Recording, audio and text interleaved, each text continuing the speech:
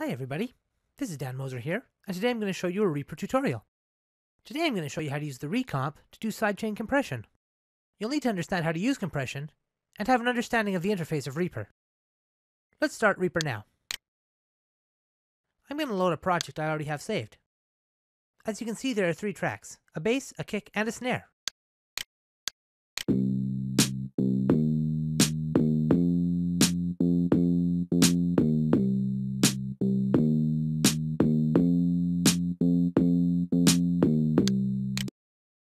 Let's open up the effects panel on the track that we wish to do sidechain compression on. Then select ReaComp from the list. I'm just going to set the threshold and ratio randomly here, so you can hear the compressor in action without a sidechain.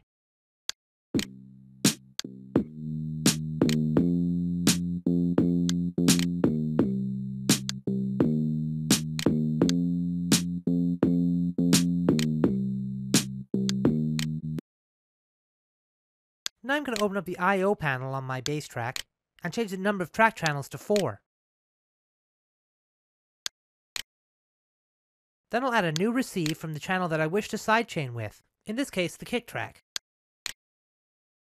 Making sure that I send audio 1 and 2 from that track into 3 and 4 on the bass track, the ones we just created.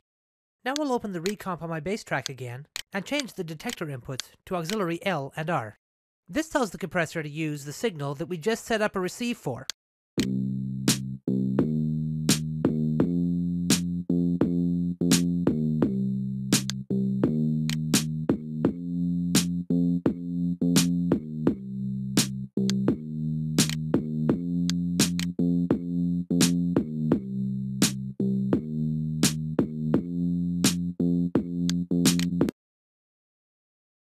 You can also set it up as a send.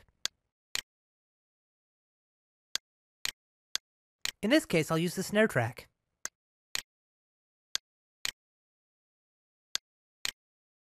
Remembering to send a 3 and 4 on the bass track.